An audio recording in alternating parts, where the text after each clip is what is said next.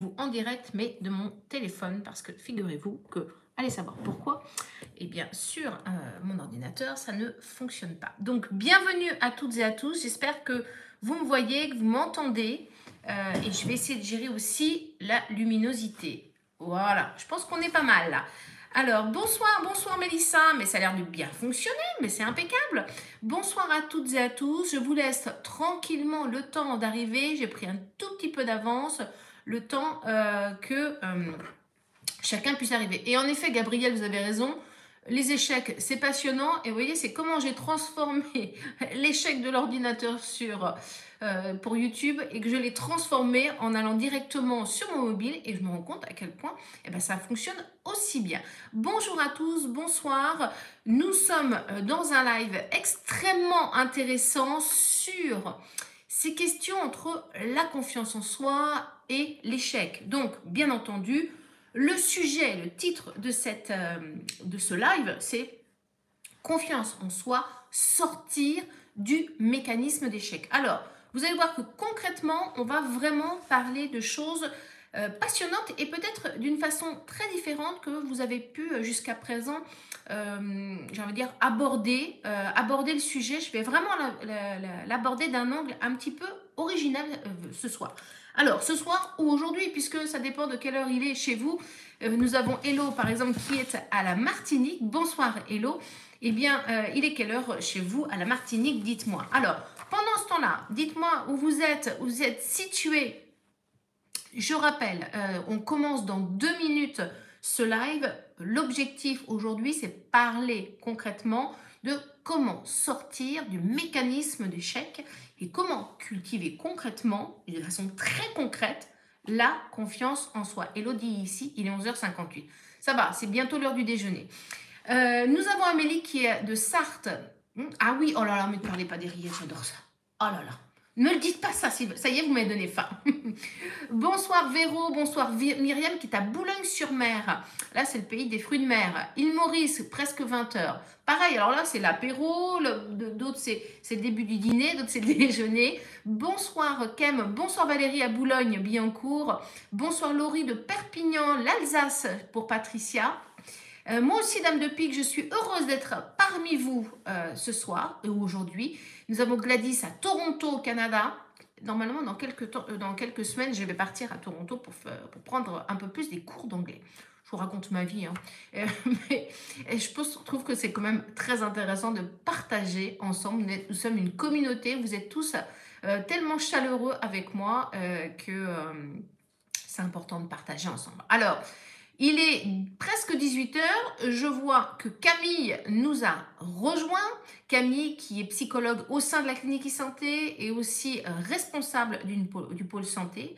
Euh, chez nous. C'est une grande responsabilité. Elle assure la supervision de l'ensemble des psychologues, la supervision de l'ensemble de, des patients de la clinique e-santé. La clinique e-santé, pour ceux qui ne connaissent pas, c'est tout simplement avoir son psy dans la poche pour pouvoir eh bien, traverser nos différentes étapes de vie en fonction de nos besoin, que ce soit une période où on traverse un deuil, une dépression, une difficulté passagère, qu'on a besoin de mettre des mots sur nos mots MAUX et de se sentir équipé pour le faire et ceci dans un accompagnement au quotidien. Je suis ravie de réaliser ce binôme avec toi ce soir, Camille. Euh, on est là pour parler de la confiance en soi et on est vraiment très équipé pour ça. On va y aller. Alors, quel est le sommaire de, euh, de ce live? La confiance en soi, comment sortir concrètement du mécanisme de, l'échec. Alors, dans un premier temps, nous allons aborder le c'est quoi d'abord la confiance en soi. Si on veut aborder le mécanisme de, l'échec, on va aussi d'abord savoir comment on développe la confiance en soi, mais il faut savoir ce que c'est et ce que ce n'est pas? Parce qu'il y a beaucoup de confusion sur le sujet. Euh, d'ailleurs, je, je vous donne quelques petites pistes maintenant, mais on va parler notamment du, narcissisme. Et vous allez voir comment un bon narcissisme, eh bien, ça aide pour la confiance en soi. Mais aussi pourquoi, quand on a un défaut de confiance en soi, eh bien, on se retrouve parfois dans sa vie en lien avec des personnes de type, euh, j'ai envie de dire, un peu toxique, voire même perverse narcissique. Vous allez mieux comprendre cela avec moi. Donc, vraiment, restez bien avec moi dans, dans, cette, dans ce live. Vous allez apprendre plein de choses. Et puis, vous me connaissez, J'aime le faire de façon pragmatique, décomplexée et on va aller directement à l'essentiel. Je vais vous donner plein d'exemples en plus pour le faire. Deuxième chose qu'on va voir dans ce live, c'est donc quelles sont les conséquences euh, d'un manque de confiance en soi dans la vie. On va, on va un peu l'étayer. Je vais vous mettre vraiment dans le concret de, nos situations de vie, que ce soit au niveau amoureux, personnel, professionnel, familial. Comment ça peut agir sur euh, nos capacités à nous développer, à nous révéler, mais aussi, carrément aussi, concrètement, sur notre santé. Troisième chose qu'on va voir dans ce live concernant la confiance en soi et les mécanismes de l'échec, c'est pourquoi et comment s'installe le mécanisme de l'échec. Et je vais vous faire réagir là-dessus. Vous allez vraiment travailler avec moi, expérimenter euh, votre, euh, comment dire, ce que votre petite voix intérieure, elle dit. D'accord? Et puis, euh, quatrième partie de ce live, comment concrètement sortir du mécanisme d'échec et développer la confiance en soi.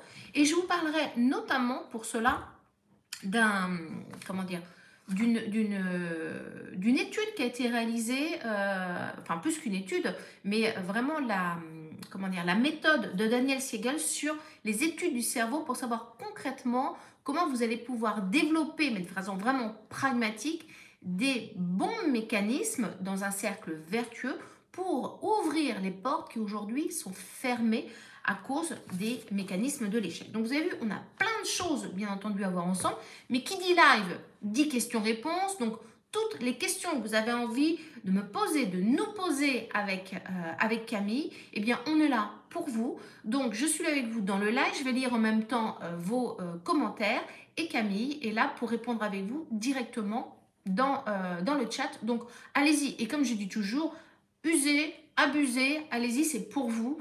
N'hésitez pas aussi à interagir avec la communauté parce que on est chacun des expériences de vie différentes. On a essayé des choses qui fonctionnent, qui ne fonctionnent pas. Peu importe, ce qui compte, c'est d'expérimenter, d'avoir une expérience de vie qui nous permette de pouvoir avancer. Et vous allez voir que justement, on se construit à partir d'échecs dont on a appris. Alors, euh, est-ce que tout le monde est prêt? Je vois que nous avons Claire qui est du, Québec, au Canada. Bonjour Claire.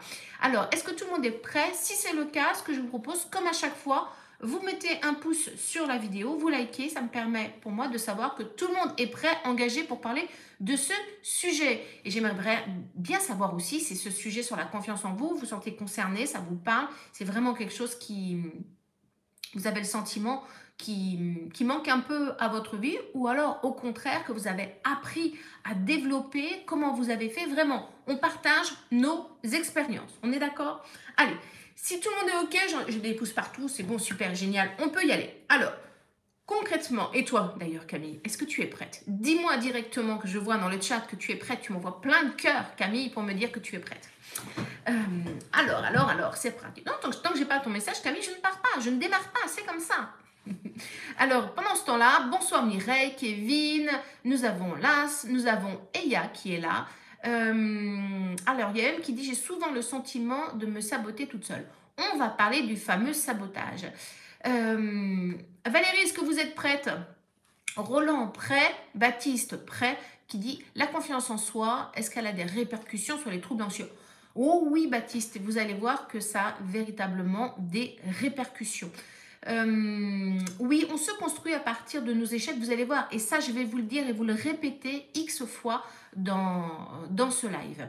Et vous pouvez compter sur moi, je sais que je suis vraiment une, experte en tant que psy sur le développement de, la confiance en soi. Et je vais vous dire une chose, hein. alors on va se dire entre nous, mais sans bullshit, c'est-à-dire en concret. Je ne vais pas vous enfoncer des portes ouvertes, je ne vais pas parler de il suffit que, il faudrait que. Non, c'est pas vrai. Je vais vous dire concrètement, la confiance en soi, c'est pas magique, ça s'acquiert, c'est accessible pour tous, mais on a tous une façon différente de pouvoir y accéder. Et c'est pour ça qu'aujourd'hui, je vais parler de, euh, nos mécanismes d'échec, parce que tous nos mécanismes sont euh, propres à chacun d'entre nous, puisqu'on n'a pas tous la même expérience de vie. Donc vous comprenez pourquoi on va pouvoir agir dans ce sens. Allez, c'est parti. C'est quoi déjà la confiance en soi? Euh, la confiance en soi, je vais essayer de vous donner un peu une, définition et vous allez voir, on va même la, déplier ensemble. Mais avant, euh, j'aimerais vous faire une différence qu'il y a entre la confiance en soi et l'estime de soi. D'ailleurs, je sais qu'il y a des personnes qui me connaissent bien, qui, sont suivies au sein de la clinique santé, que j'ai accompagné personnellement. Normalement, vous devez pouvoir me dire maintenant quelle est la différence entre la confiance en soi et l'estime de soi. Et peu importe la façon de le dire, ce qui compte pas, c'est d'être parfait, mais c'est que vous me donniez euh, votre, votre définition, votre façon de le faire. Et ça va me permettre, pour certains d'entre vous et pour vous, de vous rendre compte que euh, parfois, peut-être que vous avez la réponse et que vous n'osez pas le dire, vous n'allez pas oser l'écrire. Alors, j'aimerais vraiment que chacun ose donner euh, la différence que vous feriez entre la confiance en soi et l'estime de soi. C'est déjà un premier pas, justement, pour dépasser ce fameux mécanisme de l'échec pour certains. Est un des premiers mécanismes de l'échec, allez, je vous le dis tout de suite, c'est quoi? C'est de ne pas oser y aller. Le mécanisme de l'échec, moins j'essaye, moins j'expérimente, moins je pourrais faire d'erreurs. Et donc, euh, la première erreur que je fais, c'est celle de ne rien faire. Donc, comment concrètement vous pouvez dépasser le mécanisme de l'échec Je vous en donne un premier vraiment concret comme ça. Il faut absolument que vous puissiez passer par l'expérimentation. C'est très important. Donc, expérimentez avec moi maintenant, euh, osez parce que c'est le meilleur moyen de pouvoir passer à l'action concernant la confiance en soi. La confiance en soi, c'est pas magique, on n'est pas né avec, c'est une, ce serait une erreur de dire ça. C'est quelque chose qui nécessite un entraînement. Alors c'est vrai qu'on n'a pas tous le même environnement de vie, donc d'une personne à une autre, eh bien on, a eu la chance parfois de bénéficier d'un environnement qui nous a un peu mieux préparé à ou un peu plus dopé. Et puis pour d'autres, on l'a pas eu, c'est pas grave parce que concrètement, on va pouvoir avancer. Chouquette, je vais vous donner des exercices pratiques. Et là, c'est le premier. Donc, Chouquette, concrètement, confiance en soi, estime de soi. Quelle est la différence selon vous? Ça ne vaut que pour vous, ça engage vous maintenant, ça ne vous engage pas pour la vie. Pareil, retenez cela. Vous voulez du concret, je vous en donne. Quand on fait quelque chose, ça ne nous engage pas pour la vie, ça nous engage pour ce qu'on fait là. On va assumer ce qu'on a fait. Et de tous les cas, que ce soit bien ou pas bien, on apprendra quelque chose et c'est à partir de ça qu'on va continuer à grandir, à acquérir de nouvelles façons de penser, de nouvelles compétences pour pouvoir avancer dans notre vie. Alors, j'ai des réponses très intéressantes. Euh, donc, c'est allez-y, continuez à mettre votre différence. Et maintenant, je vais, euh, pouvoir du coup euh, vous répondre plus concrètement. Alors, aujourd'hui, quelle est la différence entre la confiance en soi et l'estime de soi? La confiance en soi, c'est vraiment l'endroit de nos capacités. On pourrait répondre à cette question, est-ce que je me sens capable de faire face à telle situation? Est-ce que je me sens capable de faire face à telle autre situation? Concrètement, est-ce que j'ai le sentiment d'avoir les ressources nécessaires pour faire face? Ok, donc euh, on a aujourd'hui euh, deux choses à retenir là-dedans. C'est mon sentiment et mes capacités. Et quand on a une problématique de confiance en soi, en réalité, ça n'a rien à voir avec nos capacités, parce que soit, j'ai envie de dire, à partir du moment où on a une expérience de vie, des capacités, on en a, on les développe, et puis plus on avance dans la vie, plus on va pouvoir les développer. Mais le déficit de confiance en soi va se faire dans notre sentiment, c'est-à-dire dans le ressenti qu'on a d'avoir des capacités à. D'accord? Donc c'est un peu, on pourrait dire, la conscience de nos capacités. L'estime de soi, donc retenez bien, confiance en soi, on va parler des capacités. De, est-ce que je suis capable de? Dans l'estime de soi, ça n'a rien à voir avec nos capacités, mais ça a à voir avec une évaluation globale de nos valeurs, de la valeur que l'on a, que l'on pense avoir. C'est est-ce que c'est pas est-ce que je suis capable de, c'est est-ce que j'ai suffisamment de valeur, est-ce que je suis à la hauteur de. Ça parle de moi dans, dans, dans la, la, façon dont je vais me regarder en tant que personne. Est-ce que j'ai ou pas de la valeur? Et vous imaginez bien que ces deux questions sont différentes. C'est est-ce que si je, je, je, vais faire par exemple, tiens, je vais ouvrir un restaurant. Imaginons que je vais ouvrir un restaurant. Tiens, là, maintenant, ce soir, ok? Et je me pose cette question. Si j'ai suffisamment si je me pose des questions sur l'estime de moi, c'est euh, est-ce que euh, je suis, euh, comment dire, est-ce que j'ai suffisamment de valeur pour moi-même? Est-ce que je, me sens légitime? Est-ce que je considère que quelle est la valeur que j'ai pour pouvoir ouvrir un restaurant Bah non, j'ai pas fait d'études, ça ne se fait pas. Puis de toute façon, je suis nulle. Donc c'est la valeur que je vais donner de moi. Par contre, si ma problématique est une problématique de confiance en moi, je dis, bah, oui, moi je me sens tout à fait, euh, euh, je veux dire, j'ai le droit d'ouvrir de, d'ouvrir un restaurant, mais par contre, concrètement, euh, bah, je ne suis pas sûre d'avoir toutes les capacités pour, et c'est différent. Et là, donc, vous voyez, on ne va pas se poser les questions de la même façon. Si je reprends un autre exemple, celui de monter sur scène, par exemple, c'est quelqu'un qui voudrait prendre la parole en public. Imaginons que vous vouliez prendre la parole en public. Vous montez sur scène pour, euh, par exemple, une, prise de parole, une conférence, dans un, meeting euh, de, travail, en réunion. Et là, euh, vous n'arrivez pas à prendre la parole. Vous bégayez, vous cherchez vos mots, vous êtes complètement tétanisé. Et vous décidez de prendre des, des cours d'art oratoire. D'accord? Alors, vous prenez ces cours d'art oratoire et vous refaites une prochaine réunion, un prochain meeting à nouveau, c'est la catastrophe. Pourtant, vous avez développé des, nouvelles compétences pour pouvoir monter sur scène, on pourrait dire. Qu'est-ce qui fait que ça ne fonctionne pas? Ce n'est pas votre confiance en vous, c'est parce que vous n'avez pas suffisamment d'estime de vous. C'est-à-dire que c'est la valeur que vous considérez. Si vous dites mais, mais qui je suis pour monter sur scène, qui je suis pour prendre la parole devant tous ces gens, suis-je légitime?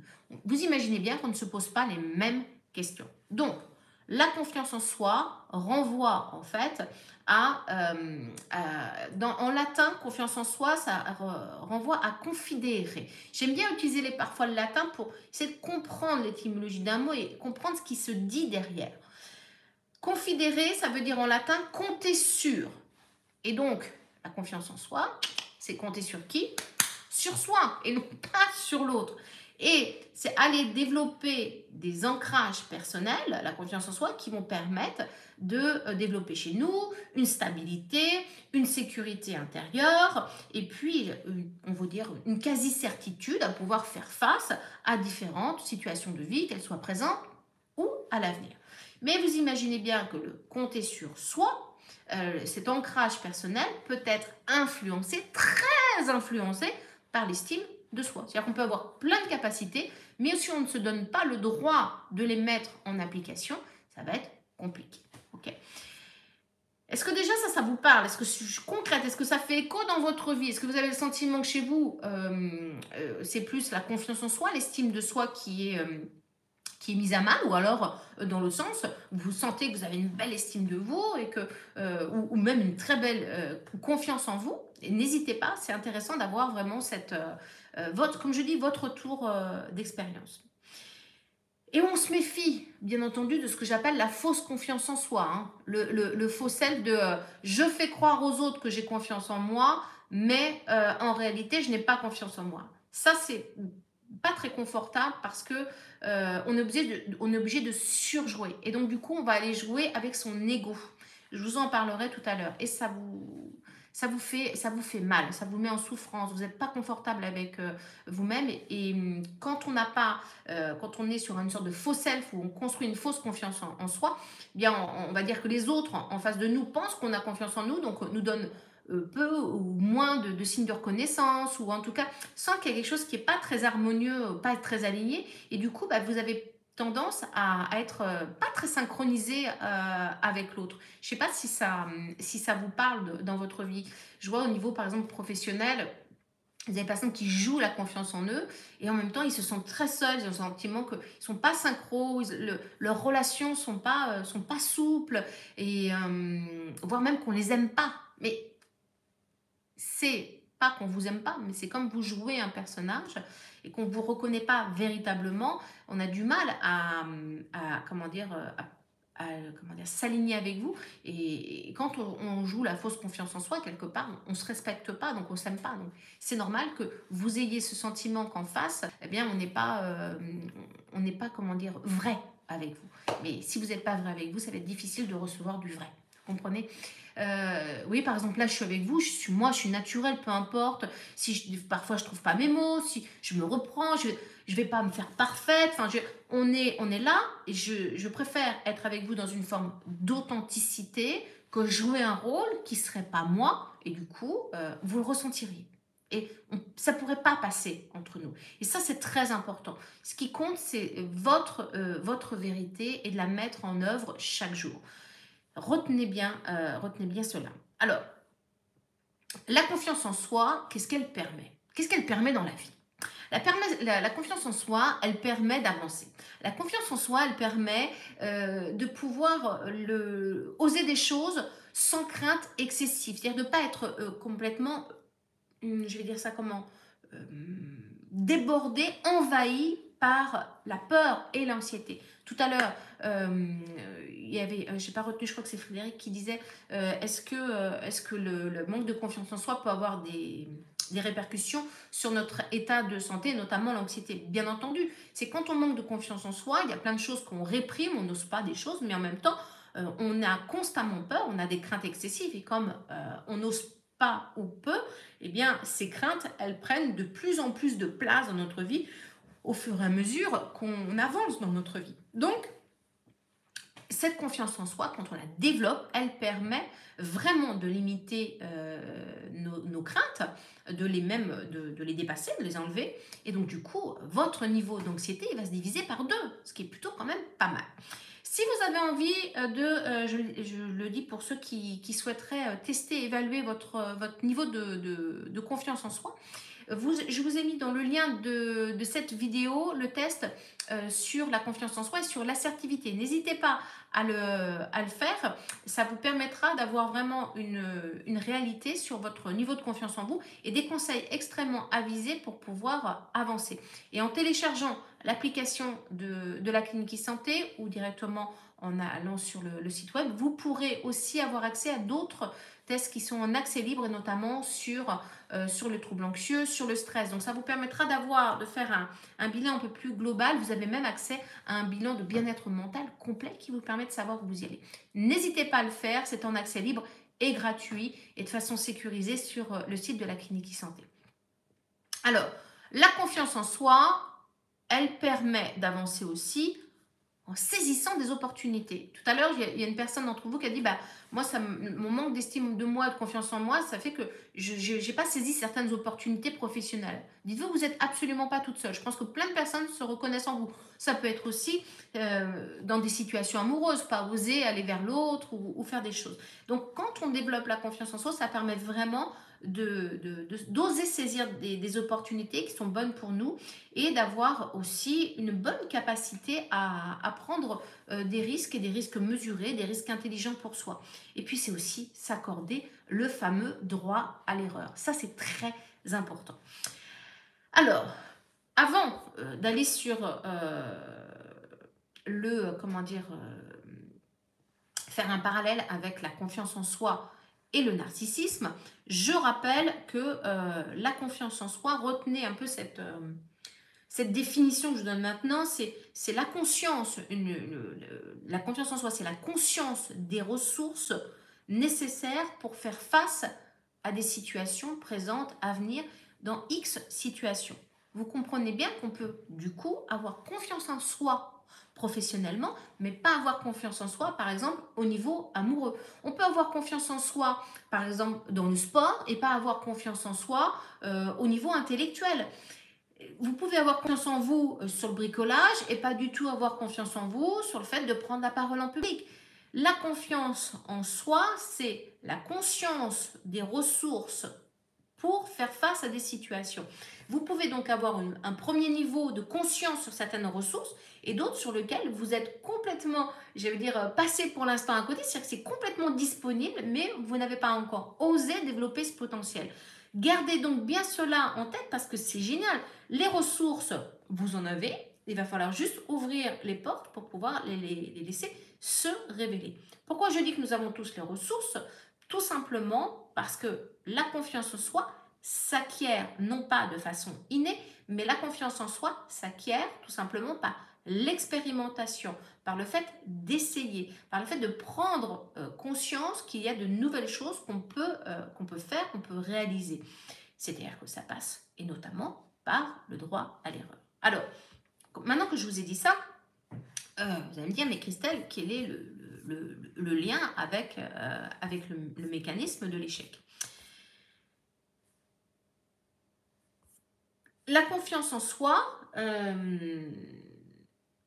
va véritablement, euh, comment dire, lorsqu'on n'a pas pris conscience qu'on a des ressources, euh, eh bien, euh, il y a certains endroits où, sur lesquels, en fait, vous vous êtes peut-être arrêté à un premier échec parce que vous avez essayé et vous pensez que on a essayé une fois, on ne peut pas aller plus loin. Si on a essayé, euh, bah, ça ne marche pas, j'irai pas plus loin, tant pis, je suis pas bonne pour. Je sais pas, par exemple, j'ai essayé de chanter, la première fois que j'ai chanté, j'ai chanté comme une casserole, eh ben laisse tomber, c'est pas fait pour moi. Non, en réalité, si vous prenez des cours, euh, si vous vous mettez dans une chorale, au fur et à mesure, vous allez apprendre à poser votre voix, ça, s'apprend.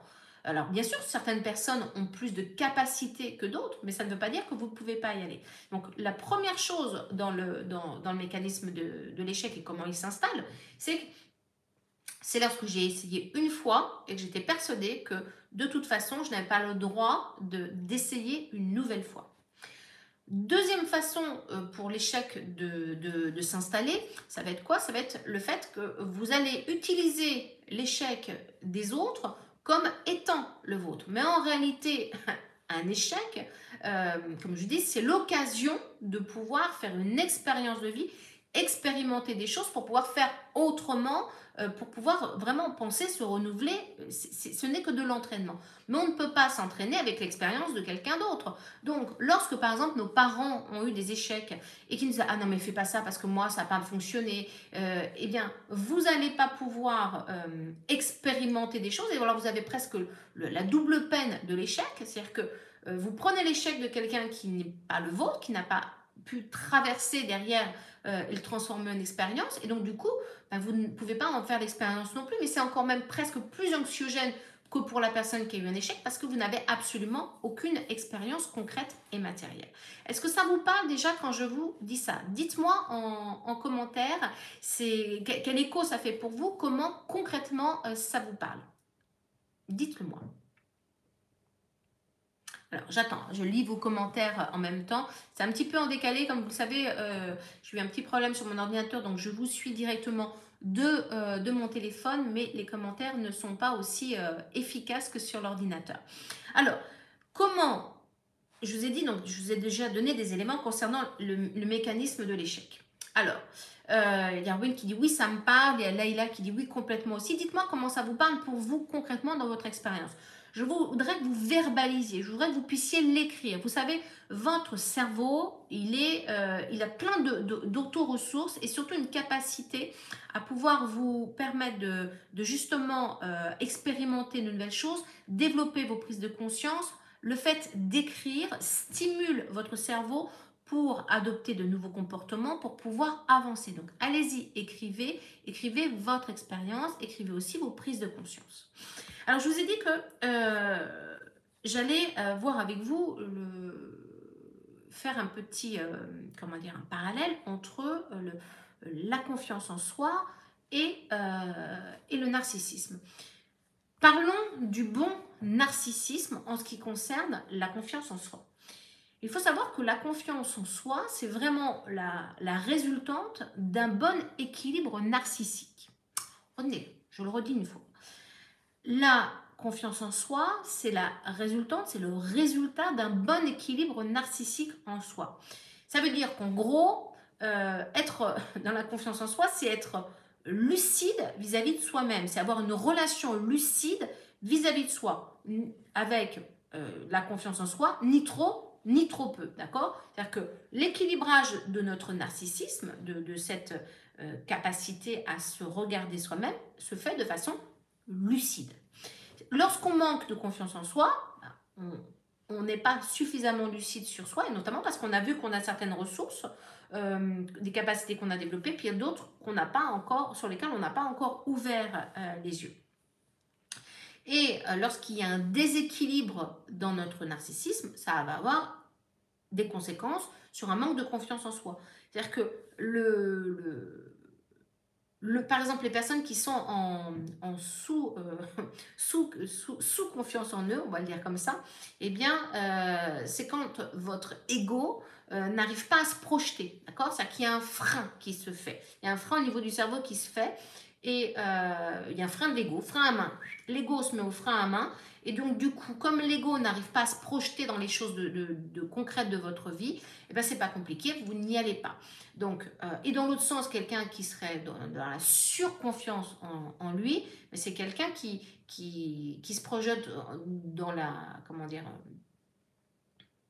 dans la sur, euh, comment dire, euh, de façon dans le mensonge hein, aussi comme je vous ai dit et qui va euh, alors là c'est pas le frein du coup mais alors qui, qui va complètement euh, se jeter dans et se surprojeter mais de façon non lucide et non réelle ce qui est intéressant lorsque je parle du narcissisme, c'est souvent quand on parle du narcissisme, on pense à quelque chose qui est négatif.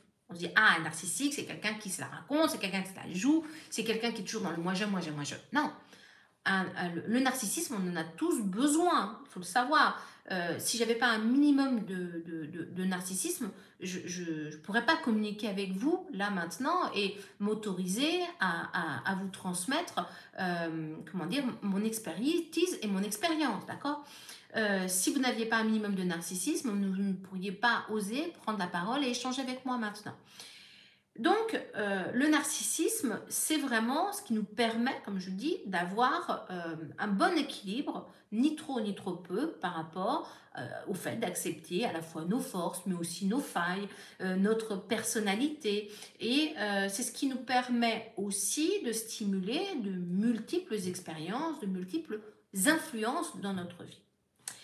Et pourquoi, par contre, lorsqu'on manque de confiance en soi, on peut attirer les personnes qui sont ultra narcissiques, celles qui sont en, maladie narcissique, dans, le sens de, par exemple, les personnes perverses narcissiques, euh, ou les personnes ultra narcissiques, mais qui ne sont pas forcément euh, perverses. Vous avez des personnes qui sont moi-je, moi-je, moi-je, et qui ne sont pas des destructeurs de, personnes hein, et de personnalités, bien entendu. Donc, pourquoi, d'après vous, lorsqu'on manque de confiance en soi, lorsque du coup on a un, équilibre euh, narcissique qui est, euh, comment dire, à la baisse, on va attirer des personnes qui ont un, équilibre euh, narcissique eux aussi dysfonctionnel, mais qui sont dans le trop. D'après vous, pourquoi? D'après vous, pourquoi? Je vous laisse, cheminer là-dessus. Ben, tout simplement parce que justement, ce sont les déséquilibres narcissiques qui s'attirent. C'est un peu comme euh, le plus et le moins s'attirent, voyez?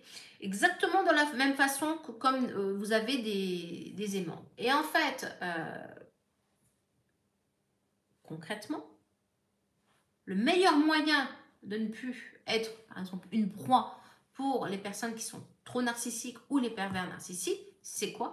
C'est justement de développer sa confiance en soi et son estime de soi, donc de rééquilibrer euh, son narcissisme et son ego pour justement ne plus être une proie à ces personnes qui vont se rapprocher de vous, tout simplement parce qu'en fait, les personnes qui sont notamment perverses narcissiques, eux ont conscience des capacités, des qualités que vous avez, euh, alors que vous, vous n'avez pas euh, la conscience. Et ils vont utiliser cela pour aller s'accaparer toutes les ressources que vous avez pour euh, les, faire leur, entre guillemets, hein, et, euh, et, eux vont pouvoir briller grâce à vous euh, sans que vous vous en rendiez compte.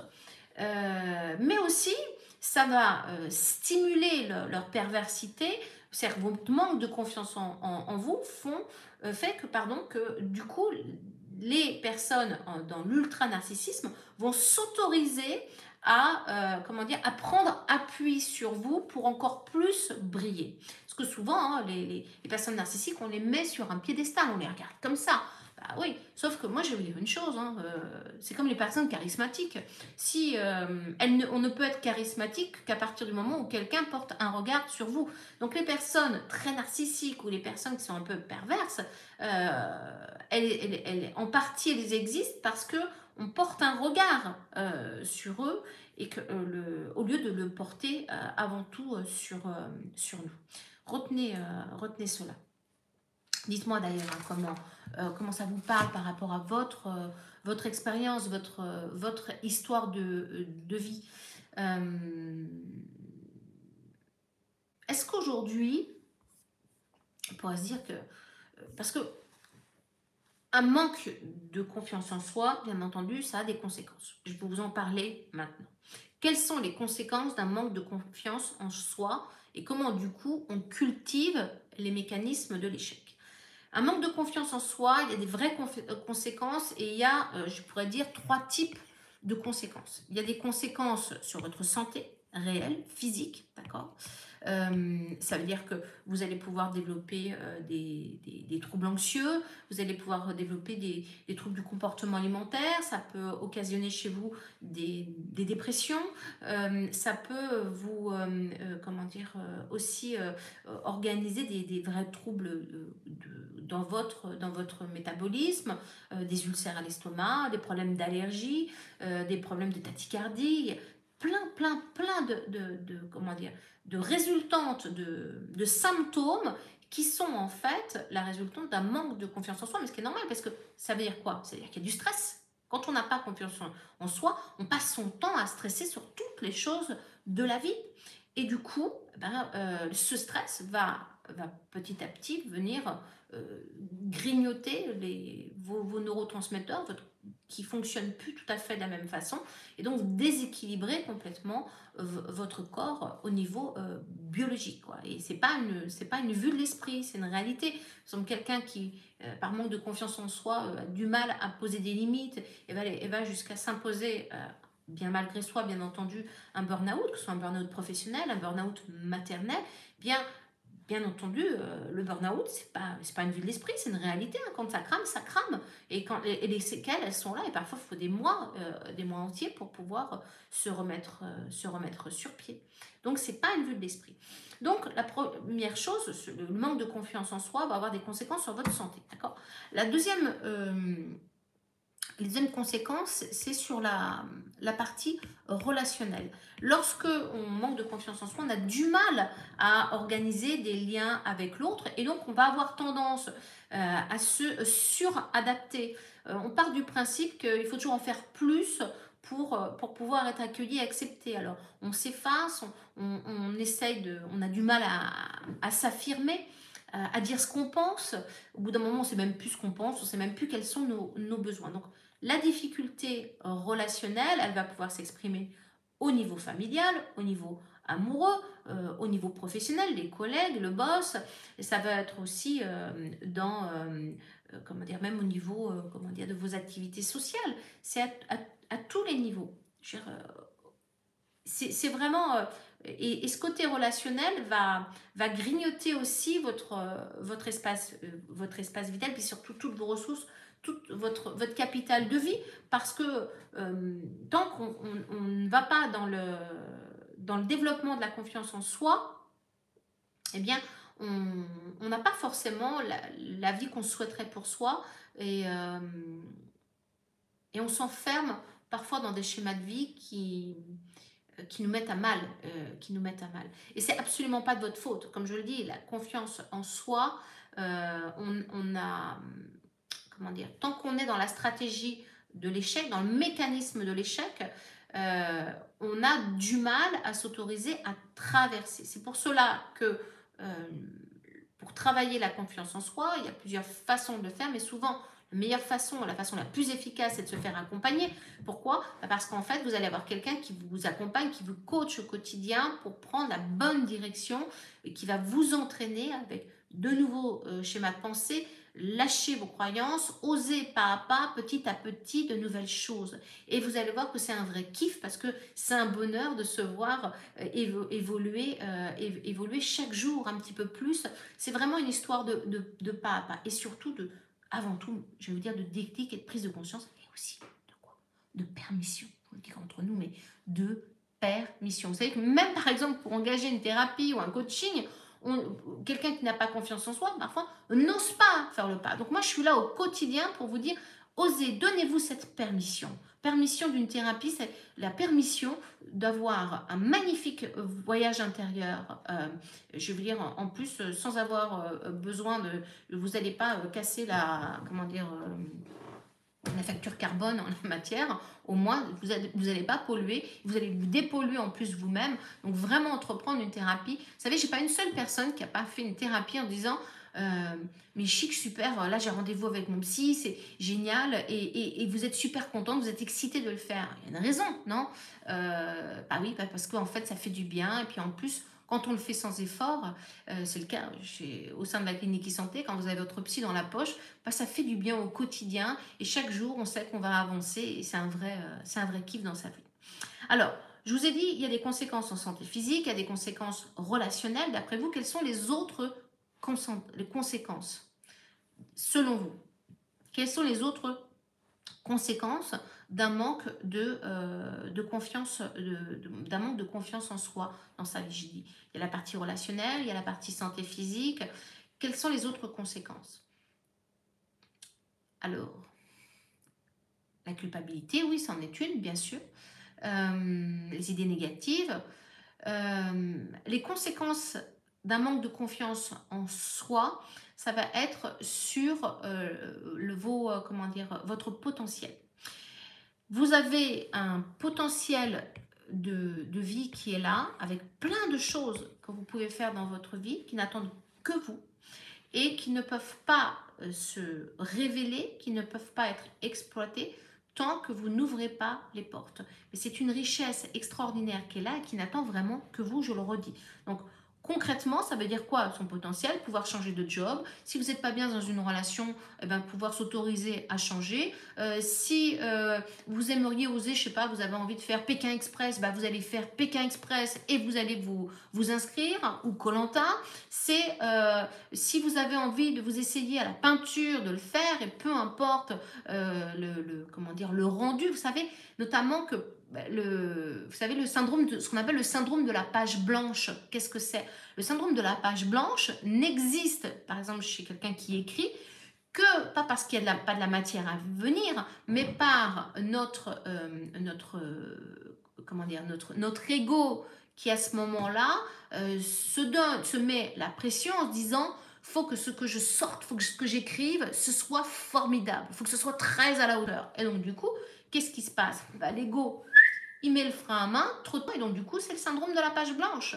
Et on a un peu tous ce syndrome de la page blanche dans, dans, notre vie. C'est euh, le syndrome de la, de, la page blanche parce que je n'ai pas osé euh, postuler sur un autre job. C'est le syndrome de la page blanche de ma vie parce que euh, je ne vais pas oser aller voir cette personne et, et, essayer de faire un date avec elle. C'est je vais pas, alors que je rêverais, je ne sais pas moi, de comment dire, euh, d'aller euh, d'aller faire ce voyage, eh bien, je n'ose pas le faire. Donc, c'est toute cette, c'est vraiment ce frein à main que je mets constamment dans ma vie. Et l'objectif, justement, c'est de faire rabaisser ce frein à main. Alors, je vous ai dit tout à l'heure que euh, j'allais partager avec vous les, comment dire, les techniques pour savoir concrètement comment on peut s'en sortir. Donc, oui, concrètement, déjà, euh, on peut sortir du mécanisme de l'échec. Euh, comme je dis, sortir du mécanisme de l'échec, déjà, je vais vous dire vraiment concrètement, là, maintenant, comment on fait. J'espère que tout le monde est avec moi, vous êtes très concentrés. Comment on sort du mécanisme de l'échec D'après vous, concrètement, il y en a un, il y a une méthode qui est imparable pour sortir du mécanisme de l'échec. Allez, on y va. Normalement, je pense que vous devriez avoir quelques, euh, quelques billes maintenant euh, avec euh, ce que je vous ai dit. Oui, j'ai déjà des réponses qui sont en train de s'écrire. Oui, oui, oui, allez-y. Il y a des bonnes réponses qui sont en train de s'écrire. Je vous laisse encore. Écrivez, osez me le dire, s'il vous plaît. Alors, j'ai dit. Ok, j'ai des très très bonnes réponses. Super. Allez-y, continuez, continuez. C'est très important. Oui, tiens, tiens, intéressant. Une, une autre aussi. Oui, oui. Ah, alors voilà. Super. Alors, mhm, très bien. Mhm, mhm. Euh, oui, Isabelle, c'est intéressant comme vous dites, c'est un peu comme un bug informatique. Très intéressant ce que vous dites, j'aime beaucoup le, parallèle. Exactement.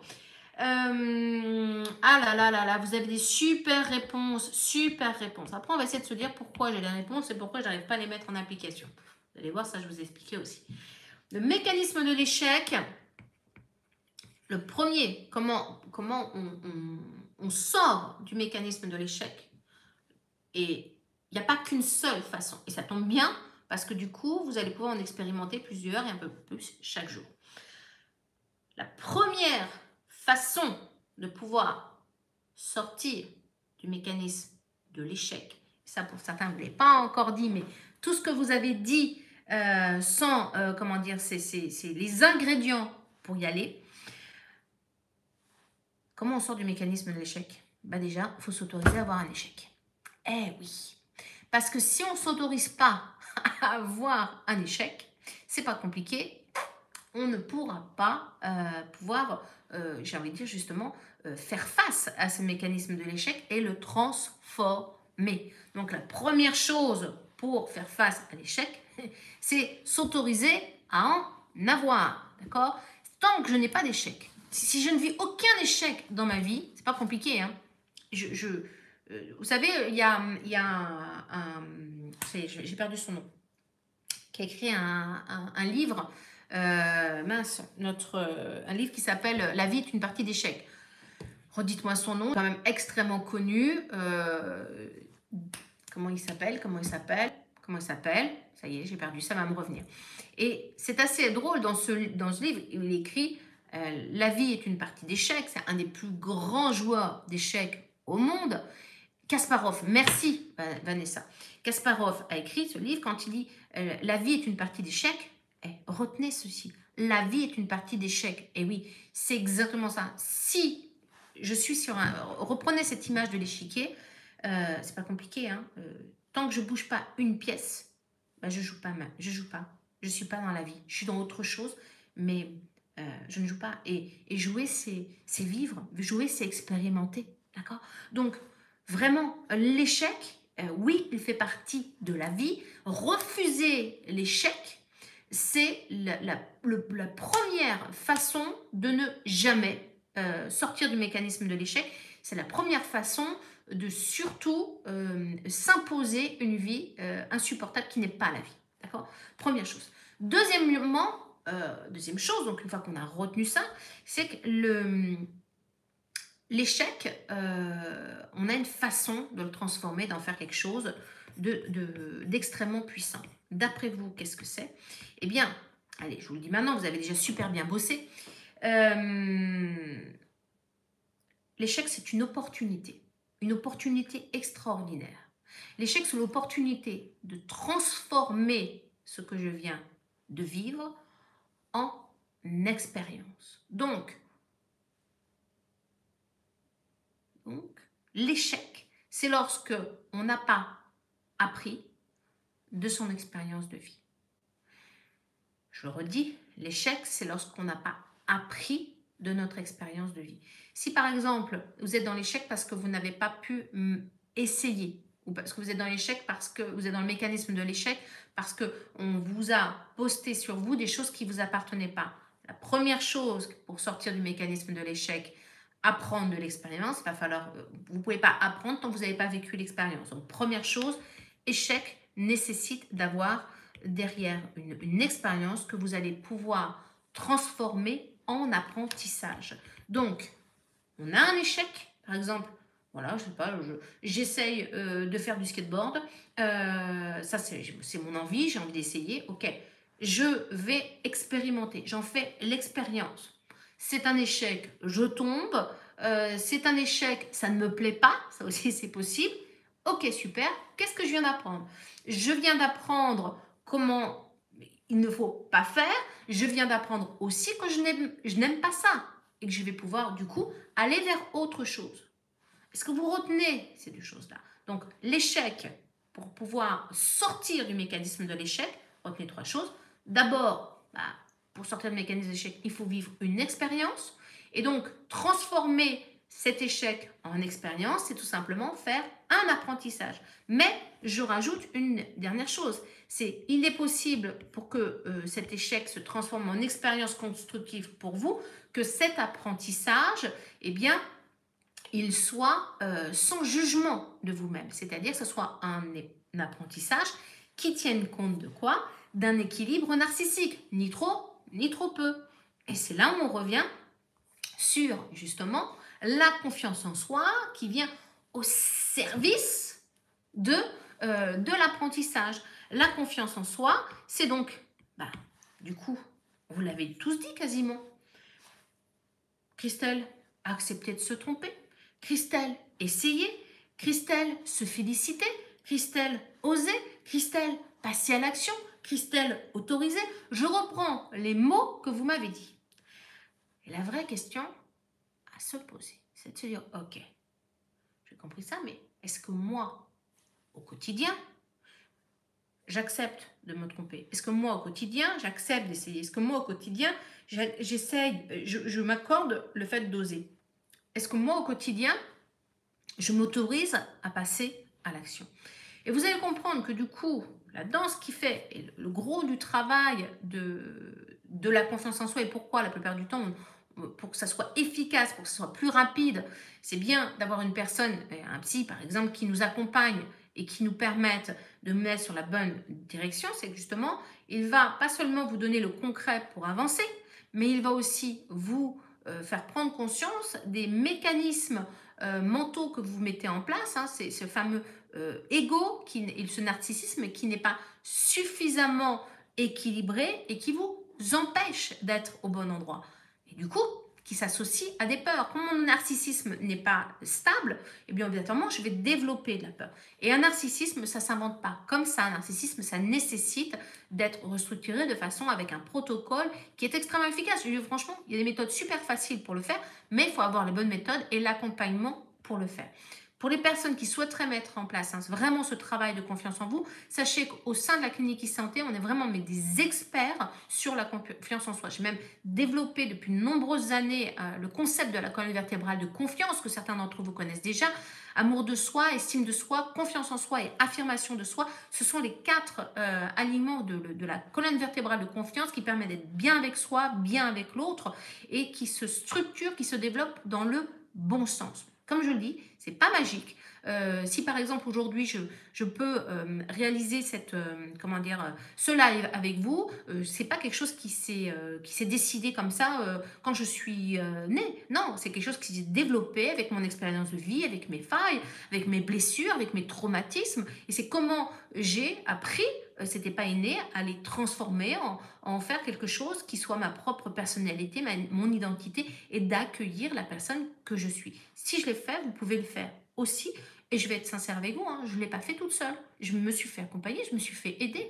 J'ai envie de dire, avant d'être, euh, avant psy, eh bien, euh, ça a été important d'avoir fait un travail sur soi. Et d'ailleurs, j'en profite pour dire que l'ensemble des psychologues de la clinique e-santé euh, ont tous fait un travail sur eux. je pense que c'est aussi un gage de pouvoir être à la hauteur de la tâche. On ne peut pas être dans le yaka faucon, hein, on est d'accord Alors, je vous avais dit que j'allais vous donner un niveau d'astuce. Je vous en donne un maintenant. Je vous ai dit euh, que j'allais vous parler de, euh, de Daniel Siegel. Peut-être que certains d'entre vous connaissent les étages du cerveau selon Daniel Siegel. Il est important de se dire que pour euh, débloquer des, des mécanismes, c'est important de comprendre comment notre cerveau fonctionne. C'est ce que je vais faire maintenant. Imaginez votre cerveau imaginez qu'il est divisé en trois parties, comme si c'était une maison. Première partie, c'est euh, le, cerveau reptilien, ce qu'on appelle euh, notre, cave, intérieure. Ensuite, on a le rez-de-chaussée, c'est l'endroit où on a notre cerveau des émotions. Au premier étage, on a le cerveau de euh, la réflexion. Et oui, nous avons trois cerveaux, un peu plus, mais je le schématise, le cerveau reptilien, le cerveau des émotions et le cerveau de la réflexion. Euh, on a, euh, lorsque l'on est, et, je vais vous parler de la peur, parce que ce qui nous met dans les mécanismes de défense, qui euh, d'échec, ce qui nous empêche de travailler sur notre confiance en vous, c'est la peur. Donc, je souhaite qu'on puisse travailler sur la peur maintenant. Et donc, on va utiliser cette, comment dire, cette image de notre cerveau à étage pour pouvoir agir sur notre peur. Il faut savoir une chose, c'est que le stress, la peur, bloque euh, toute possibilité de réflexion et donc de stratégie de changement. D'accord? Ça, c'est vraiment, et c'est pas vous qui décidez, hein, c'est votre cerveau. Lorsque votre cerveau stresse, c'est pas compliqué, il coupe la communication, il n'y a plus de Wi-Fi, il n'y a plus de 4G, il n'y a plus de 3G, il n'y a même pas du Edge, euh, il n'y a pas de réseau euh, avec le cerveau de la réflexion. Très important à retenir. Mais si je suis stressée, si j'ai peur, je ne peux pas agir, je ne peux pas réfléchir. Alors, comment on fait pour agir sur la peur? Comment on fait pour agir sur le stress qui est un, vraiment, euh, un, frein à main pour développer la confiance en soi? Je vais vous donner deux directions. Lorsque euh, je stresse, j'ai deux façons. Le stress se fait au niveau du rez-de-chaussée, au niveau des émotions. D'accord? Je suis au rez-de-chaussée euh, et euh, si une situation, soit en pensée, soit réelle, me fait peur, bah, qu'est-ce que je vais faire? Soit je vais être dans la fuite, soit je vais essayer euh, d'attaquer l'autre par un surego si j'y arrive pas, soit je me paralyse devant des situations. D'accord? Et donc, une bonne possibilité de le faire, c'est de descendre au niveau de, de notre cerveau reptilien. Je descends jusqu'à jusqu'à la cave. Attention, c'est pas une cave qui fait peur. Hein. Le cerveau reptilien, il est là pour, euh, comment dire, euh, euh, pour vous pour assurer votre survie. C'est à cet endroit-là que se passe tout ce qui est les sensations du chaud, du froid, respiration. C'est à cet endroit-là que on, a le, les battements cardiaques. C'est à cet endroit-là qu'on a aussi la pression artérielle. Et donc, quand on a peur, quand on a du stress, qui nous empêche de réfléchir. On se dit toujours ah bah oui, il faut que je gère l'émotion et que je me dise que c'est pas grave.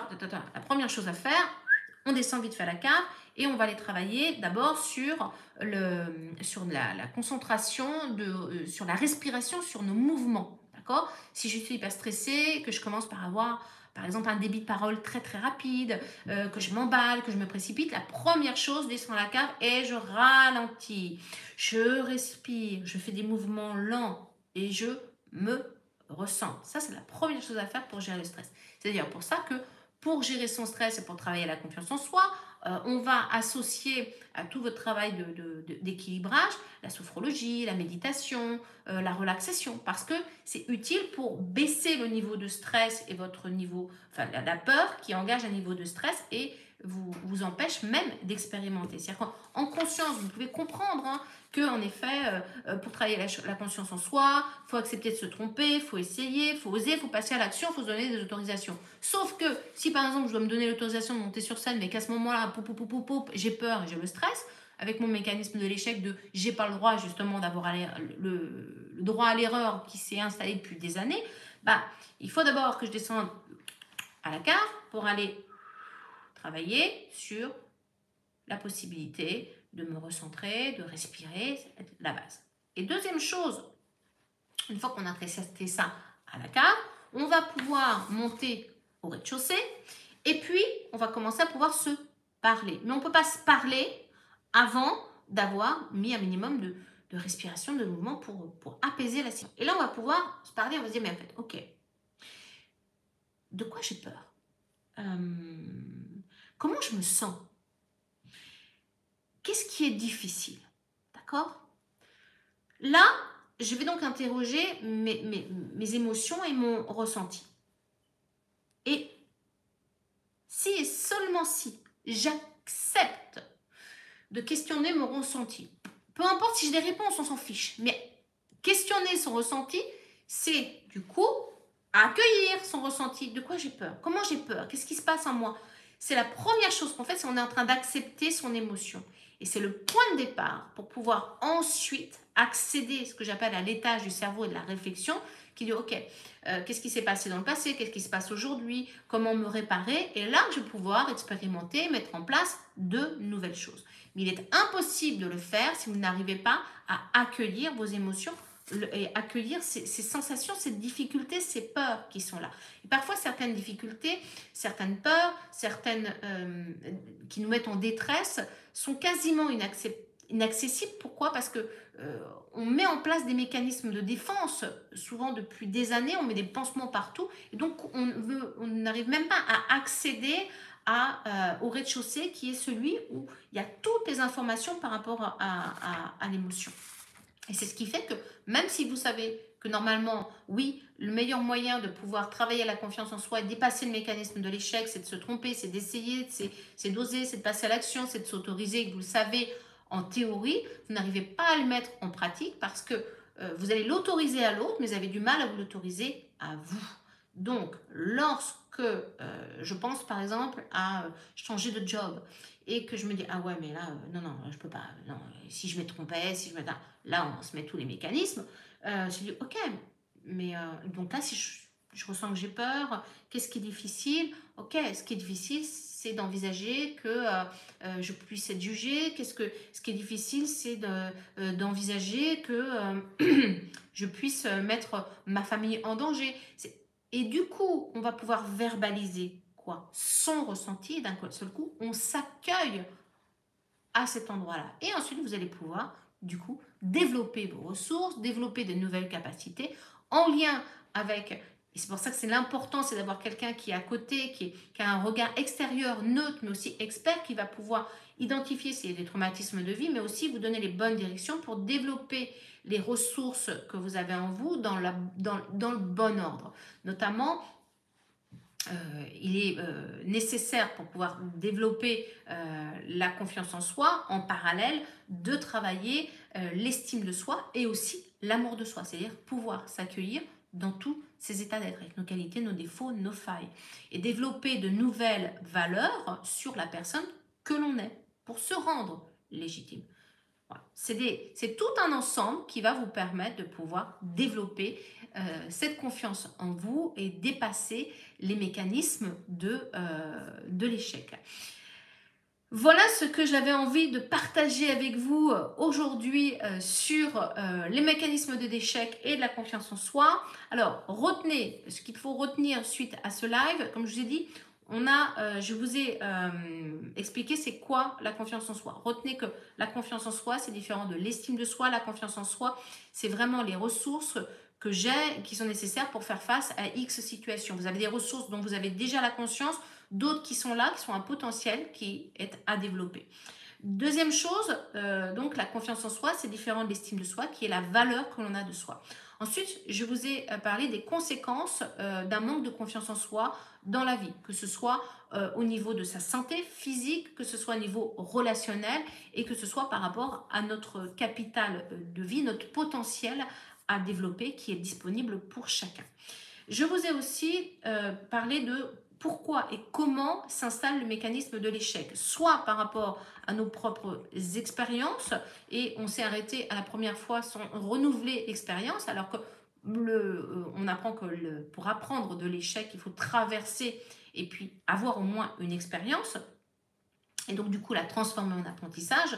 Deuxième euh, façon dont le mécanisme d'échec s'installe, c'est lorsque on, prend euh, l'échec de l'autre ou les peurs de l'autre et qu'on ne veut même pas passer au stade de, de l'échec et donc de l'expérience et donc de l'apprentissage. Comment on s'en sort, comme j'ai dit, vous l'avez très bien dit tous quasiment, c'est qu'il y a euh, pour cela un, comment dire, un, mécanisme, enfin des méthodologies à mettre en place. Bien sûr, c'est accepter de se tromper, essayer, oser, passer à l'action.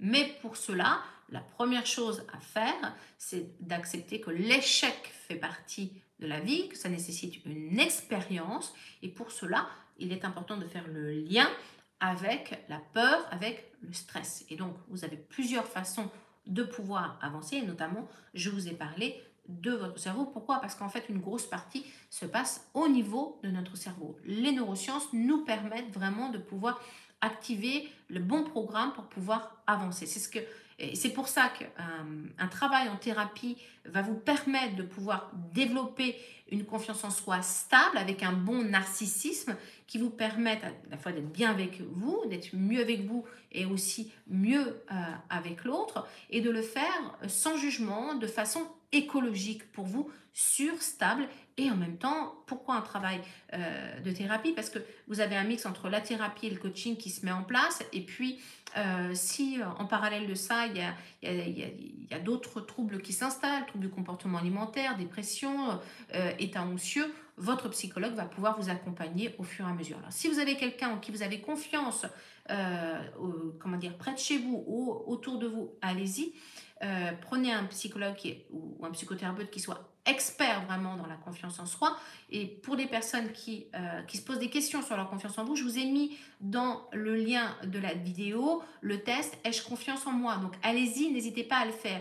Et si vous vous posez des questions sur justement les conséquences du manque de confiance en vous dans votre vie, en téléchargeant l'application de la clinique e-santé, vous avez accès à plein d'autres euh, autodiagnostics qui ont été réalisés euh, par des psychologues cliniciens au sein de la clinique e-santé. Et vraiment, vous allez pouvoir faire un premier travail euh, justement de, prise de conscience. Et c'est déjà ça, la confiance en soi. Et si vous avez envie, besoin d'aller plus loin, sachez que l'ensemble des psychologues de la clinique e-santé sont à votre écoute quand vous le souhaitez et en plus sans contrainte puisque comme j'ai toujours à la clinique e-santé c'est à distance, vous avez votre psychologue dans la poche et vous pouvez le consulter au quotidien à votre rythme selon vos envies, selon votre situation euh, de vie. Voilà. Donc allez-y, téléchargez, vous verrez. Il y a une partie qui est en accès euh, complètement gratuit, notamment au niveau des tests, certains euh, programmes et puis d'autres qui, euh, sont, parce que je vois quelqu'un qui me pose la question, qui sont en, accès payant en fonction de, de, de, votre besoin, tout simplement. Voilà. J'espère avoir pu vous donner envie, vous donner surtout la permission pour vous d'avancer, faire ce premier petit pas. Je vous propose une chose, pour tous, là, maintenant, avec quoi vous avez envie de repartir suite à ce live? Qu'est-ce qui vous a le plus interpellé? Euh, qu'est-ce qui a peut-être fait écho dans votre vie vous avez envie euh, de, mettre en œuvre? Quel est le plus petit pas que vous pourriez faire maintenant? Alors, le plus petit pas qui vous engage peu, mais qui vous permet déjà d'avoir des réponses, c'est de réaliser le test. En plus, il en a accès gratuit, libre. Faites le test pour savoir où vous en êtes. Peut-être que pour certains, vous allez vous dire, mais tiens, en fait, moi, j'ai confiance en moi. C'est pas mal.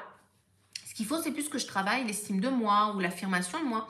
Et en fait, c'est très intéressant. Plus, vous savez, euh, dans la vie, ce qui fait vraiment une grande, grande, grande différence entre, euh, j'ai envie de dire, deux grandes familles de personnes, c'est les personnes qui s'autorisent à apprendre et les personnes qui ne s'autorisent pas à apprendre. Vous savez, euh, les, grandes dictatures ont bien compris hein, le système, c'est refuser l'information, euh, refuser l'apprentissage, c'est le meilleur moyen de pouvoir euh, avoir de l'emprise et, du pouvoir sur quelqu'un.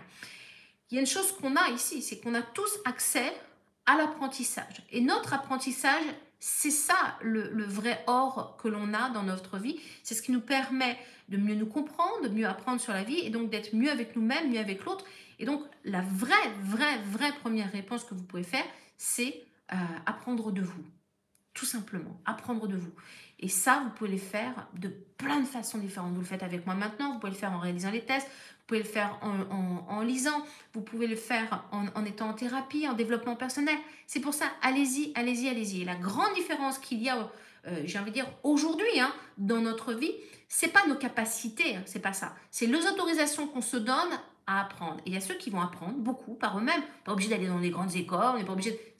L'apprentissage aujourd'hui est vraiment accessible pour toute personne qui veut le faire. Donc il y a ceux qui vont se donner l'autorisation d'apprendre chaque jour, donc de se faire grandir, et il y a ceux qui ne le feront pas. Et en réalité, on se rend compte que c'est pas seulement une permission, c'est aussi se poser la question est-ce que j'ai vraiment envie ou pas? Et ça, c'est propre à chacun. Mais du coup, il y a notre part j'aime pas, je veux dire, de responsabilité, surtout d'autonomie pour le faire. C'est-à-dire que je suis indépendant et en réalité, je peux avancer si je le souhaite. Je ne dis pas que ça va être magique, je ne dis pas que ça va être facile, mais vous allez pouvoir le faire avec, avec gourmandise et commencer déjà par les choses qui vous, qui vous donnent envie, tout simplement. Voilà. Merci à vous. Euh, merci à toi, Camille, de m'avoir accompagné euh, dans, dans ce live. je compte sur vous pour me donner dans, cette vidéo suite au test que vous aurez fait sur la confiance en soi, vos résultats, à me dire si vous étiez étonné de ce résultat, si ça se conforte bien et, quels sont les premiers pas que vous allez mettre en œuvre. Je vous dis à très vite. On a un prochain live et je vais même vous donner euh, tout de suite le, prochain live quand est-ce qu'il va avoir lieu. Le prochain live aura lieu mercredi prochain à 18h. Ce sera sur euh, les relations toxiques. Le sujet, ce sera se libérer de la charge émotionnel. Donc, Je vous dis d'ici là, rendez-vous pour les personnes qui sont suivies au sein de la clinique e-santé. On se retrouve demain en atelier thérapeutique, directement face à face par rapport à, votre situation et en, petit groupe. Et puis, pour toutes les autres personnes, bah, directement, je vous retrouve la semaine prochaine en live. Je vous embrasse. Merci à toi Camille pour cet accompagnement. À très bientôt.